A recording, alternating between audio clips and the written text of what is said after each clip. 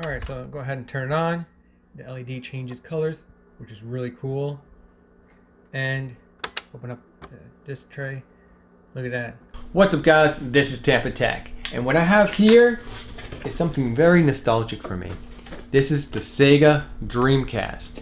And what makes this nostalgic for me is because when I first moved down to Tampa, Florida, I moved down alone with $100 in my pocket and I had no friends with me, I had no roommates, and this got me through a lot of lonely days.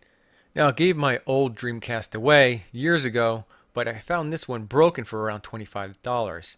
It has a known disc reading issue and no power. So I don't understand how he has a disk issue if there's no power. Maybe the disk issue came first, and then later on it had no power.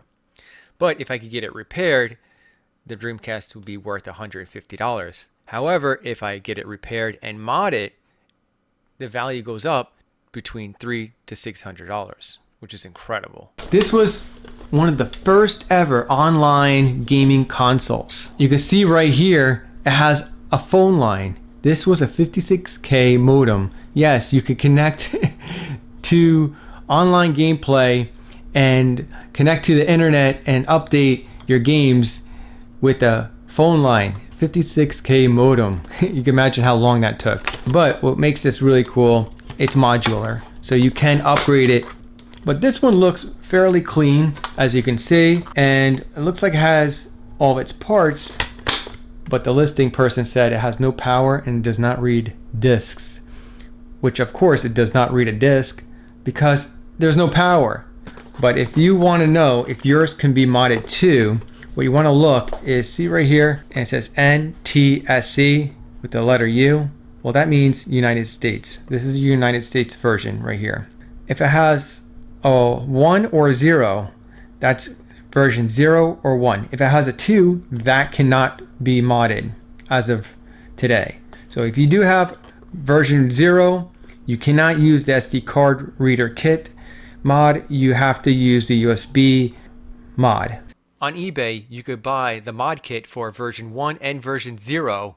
It comes with the motherboard and the hard drive preloaded with games. So this is it right here. I got it on Amazon and I'll leave a link in the video description below. Basically, it consists of a board that is swapped out for the optical drive. So this optical drive is going out the window. Well, I'll probably put it somewhere and I'm swapping it out for this modded board that reads SD cards. Now what you also need is a 32 gig micro SD card or SD card. Put that SD card in your PC and format it to a FAT32. Then you can add all those folders with the games on it. Now this is the cover for the SD card reader. You don't really need this. This is only for visual purposes only. I also bought the control board repair kit so if your controller ports don't work, then this should fix your issue. It also comes with a battery holder and I got also a battery. This is a rechargeable lithium battery and make sure you don't use a regular lithium battery. And I bought a crap ton of capacitors. As you guys know, I replace a lot of capacitors in my videos because some of the things I deal with are really old. I highly suggest getting a capacitor kit like this because capacitors only last 10 to 15 years and then they start to leak and go bad. I also bought a fan if you want to hook it up to your HD TV. I have this up converter. So this actually plugs directly into the Dreamcast and you plug in your HDMI cable right here. And I got some controllers. I don't know if they're working, but we'll find out. I know this does not work the batteries are probably dead. And I have this thing. I don't know what this is a rumble pack I guess.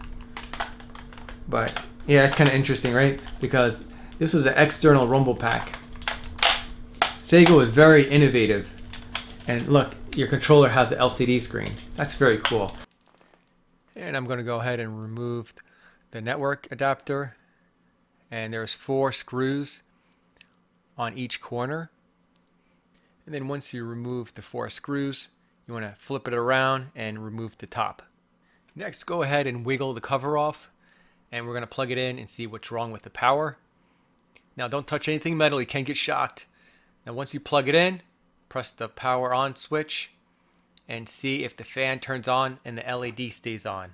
The LED did flash and the fan turned on and off. That lets me know that the GD ROM drive is causing the circuit to shut down. It's actually kind of common. So we remove the three screws on each corner and unplug the whole metal chassis with the CD, well, GD ROM drive, it's called. It just unplugs. We're going to upgrade it to the SD card reader. But now, as you notice, when we plug it back in, the LED stays on and the fan stays on. And that lets me know that the GD-ROM drive was causing the circuit to shut down when it was plugged in. Another thing that causes the power to go on and off is these power pins that were connected to the power supply. Clean them with electronic cleaner and that should fix that issue. And since this is a 20 year old unit, I highly recommend cleaning all the connections, all the ribbon cable connections, and even the ports. Now here I'm replacing all the capacitors with the same value capacitors.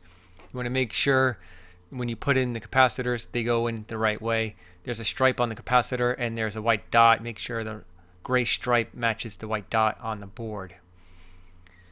And this takes about like 30 minutes to do. I highly recommend getting the capacitor kit on eBay instead of getting a big capacitor kit with wide variety of capacitors because you may not have the 300 volt capacitor in that kit, which this one needs. After you're done replacing all the capacitors, trim the legs and plug the board back in. Now with the controller port board, I'm going to replace the old battery, which is bad, with a battery holder and then plug in the new rechargeable lithium battery. Now in the future, if that battery goes bad, I can simply unplug it and plug in a new battery without desoldering anything, which makes things a whole lot more convenient. I'm also upgrading the fuse to a resettable fuse, so if you plug in a bad controller into the port and pop the fuse, then you don't have to replace that fuse. Now go ahead and plug in the rechargeable lithium battery, plug the board in, and screw it into place. Now make sure you clean all the ribbon cable connections. Right here is the SD card reader. You want to plug in the stands and it simply just plugs into the motherboard on the bottom. Now if you decide to get the SD card reader cover, it does come with the extension cable that plugs into the SD card reader that's plugged into the motherboard. This makes everything look really sleek. Now here I drilled through the SD card cover and pushed in a red LED. That is soldered to the 12 volt line on the power supply. I decided to put a 12 volt red LED to simulate a laser optic eye.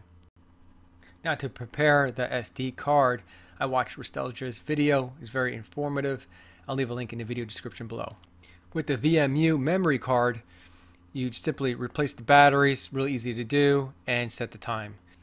Now, I highly recommend using electronic cleaner, clean out the ports, AV port and the power port. And if you want to, you can upgrade the fan if it's acting up or making a lot of noise. Uh, I cleaned it out with electronic cleaner and it wasn't making a really a lot of noise, but I decided to future-proof my Dreamcast and upgrade the fan. When you upgrade the fan, you have to get the 3D printed fan mount and the switch mechanism. Now everything total cost me around $200. $30 for the broken Dreamcast. The controller port repair kit was about $10. The battery, lithium rechargeable battery, was $7. The capacitor repair kit for the power supply was $9. The fan was $14. The 3D printed fan mount and the switch mechanism was $10. The HDMI up converter for my HD TV was $30 and the modded SD card reader board was $90 and the SD card itself was around 12 bucks. Now, if you have the version 0, you're not going to get the modded SD card reader board or the SD card.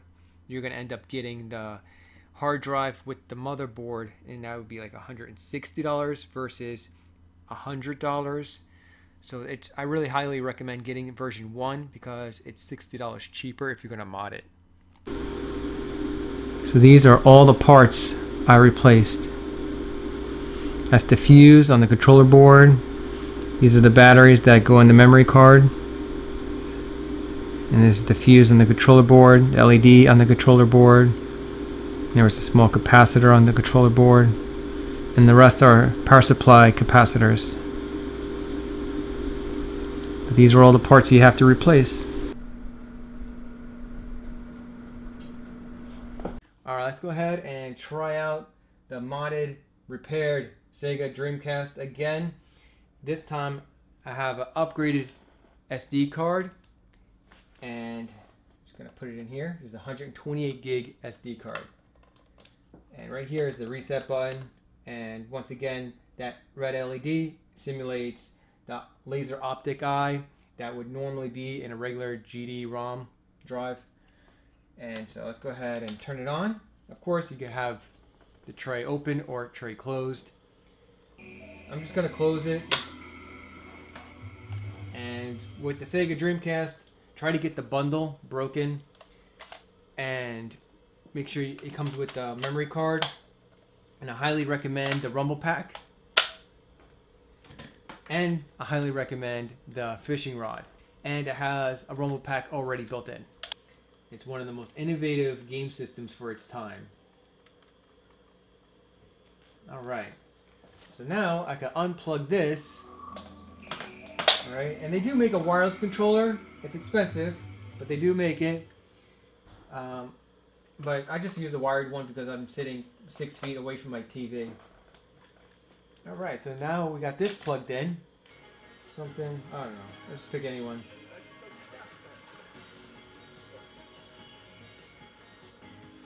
Alright, so you just basically reel in and you move your controller around trying to simulate a real fish. Because these fish are kind of smart. Oh, got him. You have to go up if you want to hook them. And you want to balance. This is hard. This guy is huge. I'm going to probably lose him. Ah, 246 pounds. So that guy was huge. That's why I lost him. I'm learning how to play this game. Alright, try a different one. Alright, so let's try again.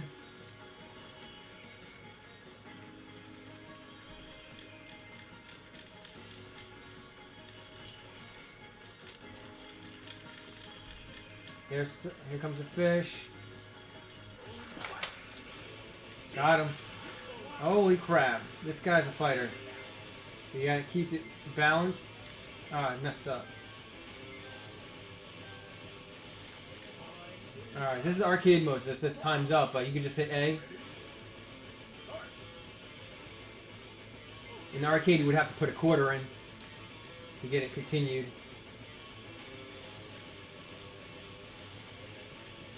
Keep it balanced right in the middle. This says lower the rod. This says left. Right.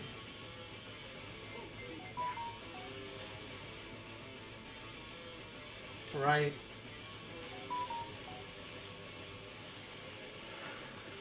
This guy is tough. And the rumble pack is really showing off like it's fighting. It feels like you're fighting the fish because the rumble pack is really going crazy right now.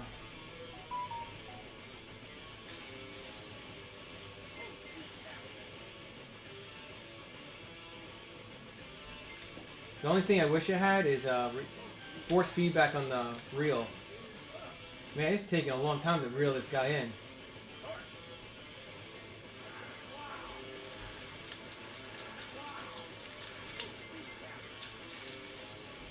Did I get him? Oh my god, I got him.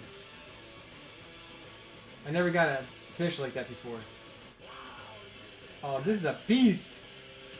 How many? 1,400 points, 133 pounds. That's a record. I'll leave on a good note. Guys, if you found this video informative, give me a big thumbs up. If you know anyone that has a broken Sega Dreamcast, go ahead and click on the share button below and share this video to them, help someone out. If you want more tech videos like this coming your way, subscribe and hit that bell notification to stay updated on the latest tech videos.